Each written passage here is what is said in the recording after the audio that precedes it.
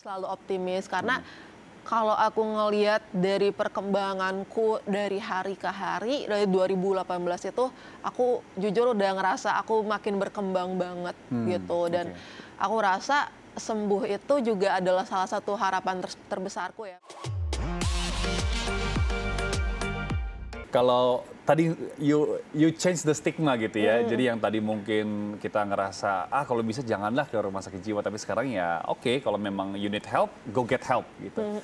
Tapi apa sih yang paling menyenangkan di masa-masa itu? Karena kan ta- tadi aku dengar kamu juga nggak diinfus, jadi nggak nggak disekap lah seperti itu ya. Jadi it's it's a it's a fun place to be di mana kamu bisa berinteraksi dengan orang lain juga, bahkan bisa uh, ngelakuin sesuatu yang bermanfaat gitu. Tapi apa yang kamu paling senang di sana? Aku sih ngerasa paling senang dan mungkin terharunya itu ketika aku tahu ternyata nggak sendirian gitu. Maksudnya sebelum aku masuk RSC tuh, pen- pikiranku tuh selalu dipenuhi bahwa aku sendirian, aku nggak punya siapa-siapa gitu. Tapi ketika aku masuk RSC, aku melihat oh ada teman-teman lain, ada teman-teman pasien lain yang mereka tuh sama loh sama aku. Mereka punya latar belakangnya masing-masing. Ya. Yang walaupun nasibnya beda-beda, ada yang mungkin karena masuk situ uh, berantem sama suaminya atau yang lainnya, tapi mereka sama-sama kayak aku emang butuh perawatan di RSC Oke. dan kita sharing banyak gitu kayak Yes. deket banget kan apalagi sama yang cewek-cewek tidur Ah. bareng terus kayak apa sih uh, shampooin bareng, Oh. luluran bareng itu seru-seru banget.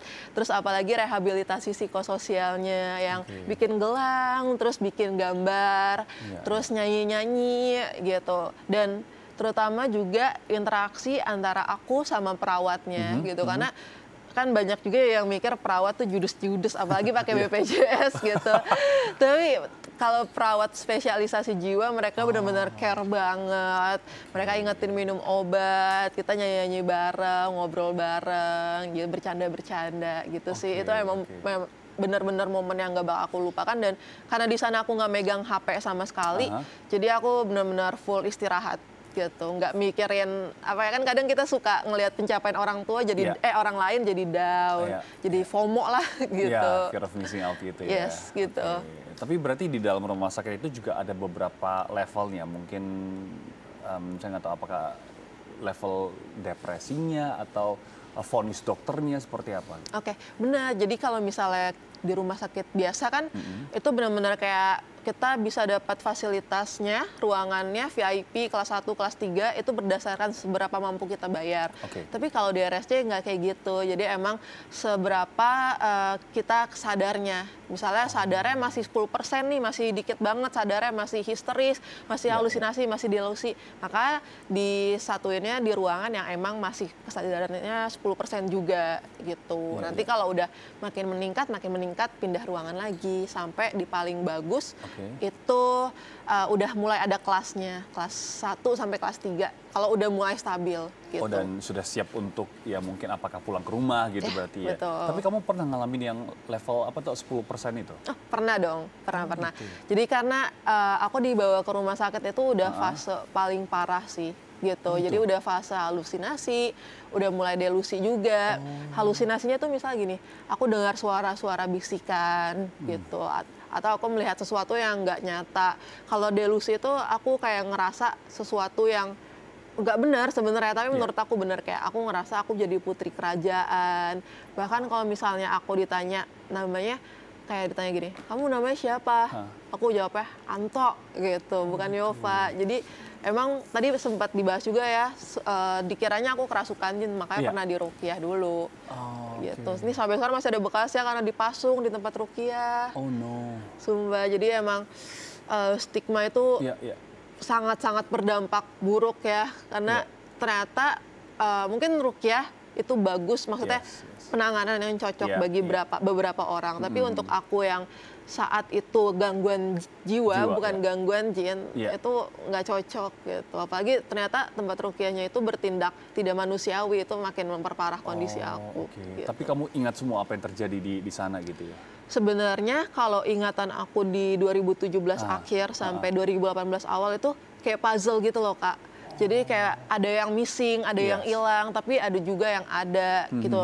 Dan saking ngeblurnya gitu, saking nggak jelasnya, kadang tuh aku suka bingung. Aduh, ini beneran realita atau Iya. pas itu cuma delusi aku aja ya Iya, gitu. iya. Tapi aku ada ingat beberapa bagian di tempat rukyah.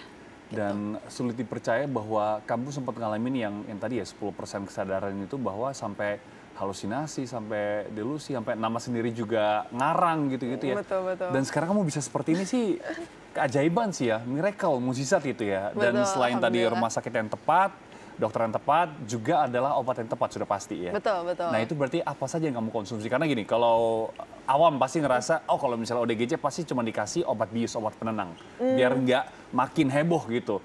Apakah itu benar? Jadi obat itu eh, ada beberapa jenis sebetulnya. Ada obat tadi obat suntik dan Oke. ada obat minum juga. Aku baru tahu dua nih. Ntar eh, mungkin ada lagi yang lain. Tapi Ya. setahu aku ada dua itu obat suntik dan obat minum. Sekarang aku lagi minum obat yang diminum. Namanya antidepresan. Ya. Terus ada juga mood stabilizer gitu. Tapi kalau buat jenisnya aku lupa soalnya lumayan sulit. Tapi intinya aku minum dua itu, antidepresan sama mood stabilizer. Terus kadang kan kalau misalnya aku suka susah tidur, aku juga minum obat tidur gitu. Tapi obat tidur tuh bener-bener dipakai kalau misalnya aku butuh aja gitu. Iya, iya, iya. Wow. Dan vonis dokter, kamu ini berarti bipolar ya? Bipolar, benar. Oke, bipolar berarti ya sekarang juga ada ada hope juga ya untuk bipolar karena gini, saya juga punya teman yang dia menikah dengan pasangannya yang setelah menikah bertahun-tahun baru ketahuan bipolar dan itu susah sekali. Maksudnya dia tuh sharing ke aku, curhat ke aku tuh tiap hari hampir nangis karena mood swingnya terlalu parah. Tiba-tiba happy dia udah bisa nangis, bisa teriak histeris itu. Kamu juga ngalamin hal yang sama nggak? Ya aku ngalamin gitu. Dan happy-nya tuh bukan sekedar happy biasa sih. Maksudnya mungkin saking kita banyak energinya sampai kita terlalu excited, kita tuh bisa sampai nggak tidur. Karena kita misalnya ngerjain kerjaan yang bener-bener kita lagi senengin Oke, banget oke. gitu, sampai subuh nggak tidur. Terus tapi kalau udah kayak gitu cenderung moodnya tuh cepet banget turun. Kayak apa ya istilahnya senggol dikit bacok iya, gitu. Karena karena lagi happy banget rentan dia Iya. nggak nggak suka sama suatu hal rentan dia marah-marah Oke. atau rentan dia nangis-nangis karena suatu hal yang mungkin Oke. sepele seperti Ya. itu. Berarti sampai sekarang Yova juga masih bisa ngalamin itu dan di hanya diobati dengan maksudnya gini, thanks to obat inikah kamu bisa bertahan atau kalau misalnya tiba-tiba nggak ada obat, kamu bisa eh, balik lagi dengan mood swing kamu yang yang luar biasa atau gimana? Jadi emang bener ya obat itu ngebantu aku Oh, banget, bener-bener oke. ngebantu aku banget dan aku tuh emang ngerasa gitu kalau misal aku nggak minum obat, moodku tuh jadi mulai eh, mulai kacau Oke, gitu. oke. Jadi ketika aku minum obat, moodku tuh kayak ditenangin gitu. Tenang ya, Mungkin ya.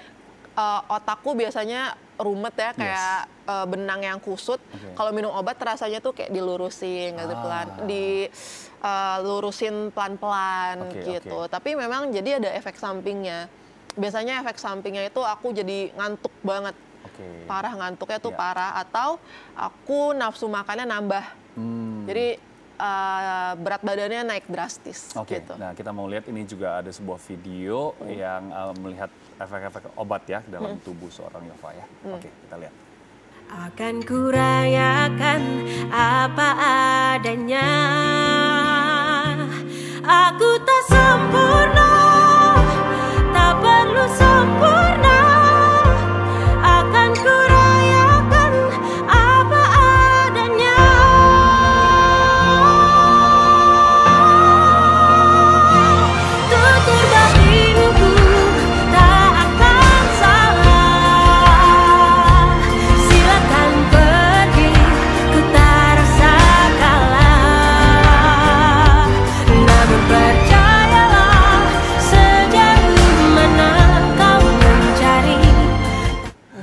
Tapi menurut aku tadi ya mungkin jadi nambah nafsu makan, jadi jerawatan. I think itu masih apa ya eh, resiko yang tergolong kecil lah ya dibandingkan dengan apa yang kita dapat gitu dari efek-efek obat tersebut gitu. Tapi tapi apa yang kamu rasakan berarti? Eh, ada efek eh, bukan keberga- ketergantungan juga sih, tapi memang kalau misalnya efek yang paling terlihat itu tadi yang kelihatan di fisik, pertama badan jadi mulai membesar karena tadi eh, makannya banyak, Iya, makin banyak. Terus juga jadi lebih ngantukan. Hmm. Dulu tuh aku pernah di SMA tuh kayak sering diledekin gitu, gara-gara aku suka tidur di kelas Oke. atau aku pernah disindir karena aku suka celamitan, suka minta-minta makanan orang Oh, gitu. oke. Ya, Karena ya. aku laparan mulu kan ya, orangnya. ya, ya. Terus eh, udah sih sebenarnya menurut aku itu adalah efek obat yang benar-benar ngaruh banget. Kalau Hmm. untuk yang lainnya eh, mungkin aku disarankan rutin medical check up karena Ya. Itu adalah jenis obat yang lumayan keras. Jadi dan aku udah minum dari 2018. Jadi fungsi ginjalku, Oke. fungsi hatiku itu juga harus dicek secara Ya. rutin ke lab Iya. gitu. Karena berarti ini obat yang harus dikonsumsi setiap hari ya, Iya rutin ya. betul. Dan Oke. mungkin eh, nanti juga saat aku insya Allah gitu punya Hmm. pasangan atau punya suami, terus aku hamil, aku menyusui itu juga kalau nggak salah harus coba cari obat alternatif gitu Oh. karena selama masa kehamilan Iya. atau masa menyusui itu nggak boleh minum obat itu gitu. Ada beberapa obat yang dilarang Oke. gitu. Berarti long story short ini ODGJ ini bisa sembuh tapi tetap harus mengkonsumsi obat selamanya gitu. Eh, kalau jawab selamanya, aku sebenarnya nggak bisa jawab itu karena itu benar-benar balik lagi. Uh-huh. Karena aku udah nemuin banyak banget kasus yang dia misalnya udah umur 70-an Hmm. gitu, eh, masih minum obat Oh, gitu. Tapi ada juga yang dia stop misalnya di umur 40 Ya. gitu karena dia sudah menemukan caranya tadi itu Ya, yang gimana caranya dia bisa eh, menjadi stabil gitu Hmm. ketika ada kendala bisa diatasi seperti itu karena Ya. Berbagai ah, berbagai macam orang tuh banyak banget. Sebenarnya tuh tahun lalu yang tadi aku cerita aku nggak mau minum obat tiba-tiba aku tuh udah di tahap yang bisa hampir lepas obat gitu. Karena dosisku tuh bener-bener cuma satu Oke. gitu. Tapi mungkin karena aku saking pedenya nih salah juga nih kepedean aku lepas obat tanpa tanpa apa Anjuran sih dokter anjuran ya? dokter ya Oke. benar tanpa anjuran dokter jadinya loss lagi gitu. Karena bener-bener obat tuh harus pokoknya kita Iya. ikutin aja apa kata dokter iya. gitu Dan itu berarti kamu masuk lagi ke benar rumah sakit masuk jiwa lagi ke itu? rumah sakit jiwa Oke, tapi berarti hanya nggak perlu rawat inap. aku rawat inap Oh, sampai rawat inap rawat lagi. inap jadi tuh gini aku dari 2018 itu setelah dirawat aku full juga tiap bulan kontrol ke psikiater. Tapi oke. memang bukan di rumah sakit jiwa di rumah sakit umum yang Oke. ada psikiater, Psikiater ya, oke. nah di psikiater ini aku tuh udah mulai membaik banget tapi emang eh, aku jadi kepedean salah tuh sombong maksudnya. Jadi ngerasa nggak perlu minum obat jadinya aku cut minum obat padahal belum dianjurkan. Terus moodku mulai naik turunnya parah banget karena nggak minum obat. Dan Ya. sampai aku ada di fase yang depresi banget dan akhirnya aku ke rumah sakit jiwa lagi gitu Hmm, Oke, diinapkan diinapkan gitu ya. Oke. Tapi eh, ketika kamu ngalamin hal ini gitu, I, I know it's a blessing in disguise gitu ya. Tapi pernah nggak sih kamu eh, mungkin pernah merasakan ada keraguan, ya keraguan mungkin untuk bisa sembuh atau enggak gitu? kalau keraguan alhamdulillah sih enggak karena aku ngerasa eh, optimis selalu optimis. Karena kalau aku ngelihat dari perkembanganku dari hari ke hari dari 2018 itu aku jujur udah ngerasa aku makin berkembang banget Hmm, gitu. Dan oke. aku rasa sembuh itu juga adalah salah satu harapan ter- terbesarku ya maksudnya Ya. stabil 100% yang Ya. udah benar-benar lepas dari obat juga itu salah satu harapan terbesarku dan aku nggak ingin pesimis sama hal itu karena aku yakin dari semua prosesku dari dulu itu benar-benar ada gitu kelihatan gitu walaupun karena tadi aku nggak minum obat jadinya kayak RSJ lagi dosisnya nambah lagi Oh, tapi aku belajar dari situ kayak oke Ova mulai sekarang rajin minum obat Ya. nggak usah kepedean ikutin aja apa kata dokter Ya. kalau masih minum obat ya udah minum obat aja gitu Iya, iya, iya. Karena dokter tahu yang terbaik lah buat kita semua Betul. ya. Oke. Dan tadi kalau misalnya set efek obat cuman bikin nafsu makan kamu bertambah, Hmm. apalagi kamu sudah workout, look at you, I mean like ya udah kurusan Iya. aku udah mulai olahraga soalnya iya iya iya dan ini kan pas gitu sehat gitu ya daripada yang mungkin terlalu kurus atau gimana gitu bener oke nah kalau misalnya tadi juga kita melihat bagaimana kamu ini berkarya di sana ya di rumah sakit jiwa tersebut itu dan sekarang juga katanya ada ada project atau apa Oh, oke. Jadi alhamdulillah aku sekarang lagi magang sebagai humas di Wow. RSKD Duren Sawit yang Ya. dulu ngerawat aku itu Oke. dan RSKD Duren Sawit juga bekerja sama dengan komunitas yang sedang aku jalankan, namanya Pasti ID. Pasti ID itu akronim dari Patakan Stigma Kesehatan Mental Indonesia. Jadi memang Pasti ID ini uh, merupakan komunitas. Dan komunitas ini kita pasti setiap tahun bikin project. Projectnya itu adalah acara-acara yang berkaitan dengan kesehatan mental. Dan kita itu insya Allah selalu menghadirkan uh, peran-peran orang. Misalnya dari sisi ahli, psikolog atau psikiater, terus ada juga dari sisi penyintas, Oke. misalnya dengan ODGJ ODGJ yang udah berkarya, Ya, gitu kan ya. banyak ya ODGJ Ya. yang berkarya, uh, misalnya Marsyanda, Yes. gitu. Terus ada juga beberapa influencer yang mereka memang bipolar gitu. Mhm. Terus uh, kita juga mencoba untuk memberdayakan penyintas. Kita tuh pernah bikin acara di Mhm. namanya Panti Sosial Binalaras Harapan Sentosa 3. Itu Mhm. adalah panti sosial yang menampung ODGJ dan di bawah naungan Dinsos DKI, Dinas Sosial DKI Jakarta. Oke, Jadi oke. uh, di sana banyak banget ODGJ yang ngerasa seneng gitu kita bikin acara di panti sosial karena mereka ngerasa jadi mereka tuh kayak ODGJ ODGJ terlantar gitu kak.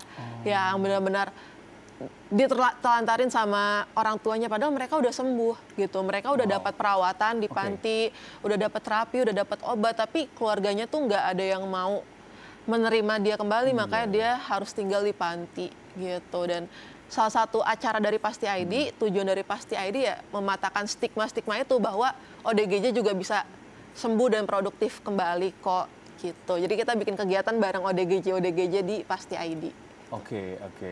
Tapi berarti eh, apa sih yang yang membuat kalian gini? Berarti kan ini, ini sudah viral nih, ya. Kamu juga sudah mampir ke beberapa stasiun TV gitu dan kamu sudah dikenal sebagai ya itu ya penyintas ODGJ tersebut ya.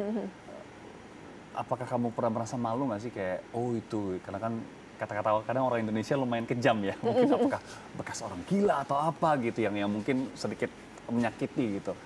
What do you think? Oke, jadi aku tuh ngerasa mindsetku tuh udah berubah banget semenjak aku sadar aku lagi dirawat di rumah sakit jiwa. Oke, ya. Aku sebelum dirawat di rumah sakit jiwa aku juga punya kok stigma-stigma kayak gitu. Kayak stigma bahwa RSJ adalah tempat yang seram, Yes. RSJ sangat kayak nggak ada yang mau masuk RSJ, tentang orang gila juga aku ada. Ya. Tapi ketika aku ngerasain oh ternyata kenyataannya seperti ini ya. Ternyata nggak seburuk yang aku bayangkan, bahkan nggak buruk sama sekali gitu. Jadi pas aku ngerasain sendiri Oke. tuh, jadi aku bisa kayak oke ngapain aku malu gitu Yes. kan aku mikirnya hmm, gangguan jiwa sama aja kok kayak penyakit lainnya. Ya. Ketika orang lain sakit gula, apakah mereka malu mereka punya sakit gula? Yes, Padahal yes. itu juga cenderung bisa kambuh dan Ya. harus minum obat terus, harus Ya. menjaga makan seperti itu. Jadi aku mikirnya kayak "Eh, ya udah itu kan sama aja kayak penyakit dan bahkan ada dokternya, Benar. eh, ada obatnya seperti itu. Jadi alhamdulillah setelah aku ngerasain sendiri aku udah nggak Ya. pernah malu sih. Yes, gitu. dan bahkan sekarang kamu bisa menjadi inspirasi bagi banyak orang, terutama orang-orang dengan ODGJ juga ya. Betul, betul. Keren sekali. Mungkin last question adalah gimana sih cara kamu nyimbangin suasana hati dan juga pikiran kamu biar terus positif dan pastinya ya tidak kembali kambuh seperti itu. Oke, pertama kan selain minum obat, pastinya itu, aduh, aku tuh masih tricky banget soalnya tuh aku gampang banget orangnya sebenarnya emosian lah orang-orang terdekatku tuh Oke. pasti nyadar kalau aku emosian. Nah sekarang aku tuh lagi belajar kayak bodoh amat gitu. Kadang tuh misalnya ada suatu hal nih, Ya. itu kan sepele banget misalnya apa ya tuh, aku kehilangan headset kayak cuma sekedar aku kehilangan headset, aku tuh nyarinya bisa ngamuk-ngamuk gitu loh. Bisa yang kayak marah, banting barang. Ya. Sekarang aku nyoba kayak lebih santuy, lebih slow gitu. Lebih kayak ah ya sudahlah kalau nggak ketemu nggak apa-apa nggak usah pakai headset dulu gitu. Jadi kalau misalnya ada kendala, ada sesuatu yang menurut aku tuh aku nggak suka, aku tuh fokus bukan di eh, kayak menyalahkan keadaan, Ya. tapi fokus di gimana cari solusinya gitu. Misalnya headset aku hilang, oh ya udah nggak usah pakai headset dulu deh meetingnya gitu, zoomnya nggak usah pakai headset dulu gitu. Biar aku tuh nggak terlalu fokus sama masalah itu, jadinya kayak ngestak emosian di situ, tapi aku Ya. fokus nyari masalahnya aja. Eh sorry solusinya, Solusinya aja sih. apa gitu. Mm-mm, Jadi gitu. jangan fokus pada masalah, namun fokus pada gimana cari solusi ya. Iya. Luar biasa, keren banget.